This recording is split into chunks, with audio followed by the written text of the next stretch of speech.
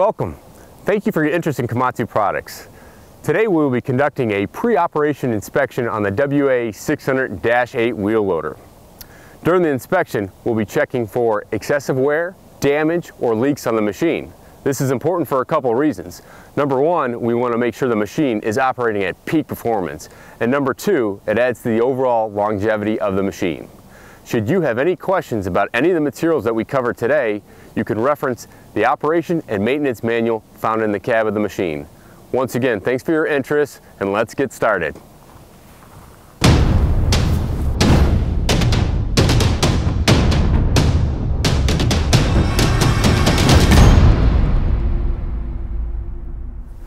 As we approach the machine, the first thing we're going to want to do is check the cab to make sure that there's no one in there and that the machine is properly chalked to avoid any movement. To begin the inspection of the machine, we're going to start with the overall structure of the bucket. As we work our way from the top to bottom, we're going to look at the welds. We're also going to look at the bolts and pins. We want to make sure that they're properly in place and secured. As we take a step back and evaluate the ground engaging tools, we're looking for any excessive wear or damage. If everything checks out okay, we're going to continue to work ourselves around the bucket. We're going to start with the cab and work our way down. We're going to inspect the lights, the hydraulic lines, the cylinders, the boom, the linkage, the mounting points, the back side of the bucket, the bolts, the pins. You want to make sure all the points are receiving the proper amount of lubrication. Now let's take this opportunity to take a quick look underneath the front of the machine to make sure that there's no leaks. If everything checks out okay there, we're now going to move on to the tire and wheel inspection. This will be the same inspection that we do for all four tires.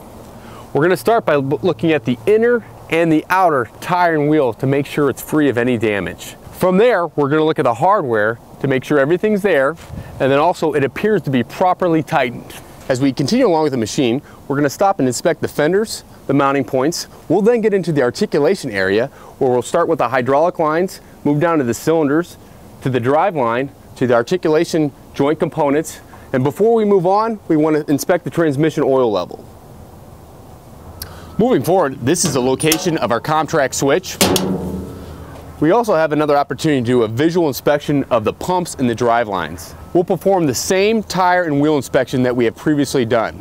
If everything checks out okay there, we're gonna take a few steps back and we're gonna look at the handrails and the mirrors to make sure everything is there and secure.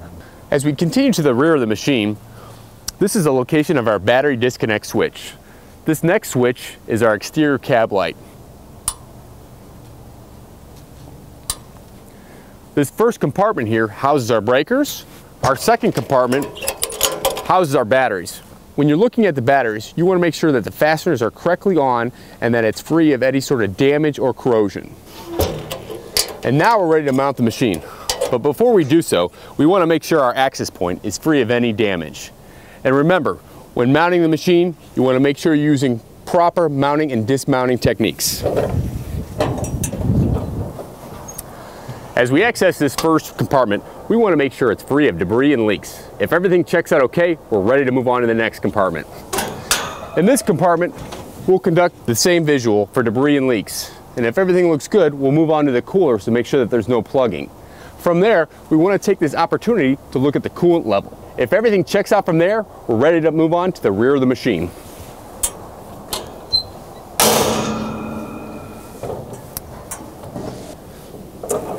As we make our way to the rear of the machine, the first thing we want to look at is the rear view camera and the lights. From there, we want to inspect the fan, make sure that it's free of debris and damage. If everything checks out okay, we're now ready to take this opportunity to look underneath the machine to make sure that there's no leaks. As we continue to work around the right side of the machine, the first compartment that we'll come to houses the additional breakers. The second compartment houses the DEF tank, which is identified with a blue cap. Underneath, you'll notice a sight tube for checking the level of DEF. Also, we have two locations to fuel the machine, standard and quick fill. Each require ultra low sulfur diesel. Now we're ready to mount the right side of the machine. But before we do that, we want to take a couple steps back to make sure the handrails and the access points are secure and in place. If everything checks out okay, it's time to mount the machine. The first check we're going to do is of the air filter. We want to make sure all the latches are secure and in place. Once everything checks out okay here, now we can move to the engine compartment.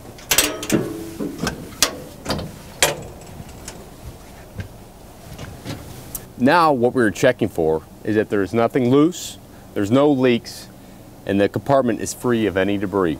We want to check the sediment bowls on the pre-filters too, to make sure there is no contamination in the fuel system. There is also a sediment drain valve for the fuel tank located on the machine in the inside of the left rear tire. Also, we have one fluid to check, and that's the engine oil.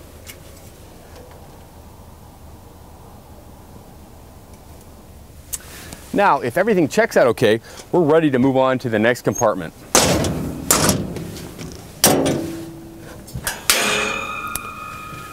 In here, we're going to perform the same inspection as we did on the other side.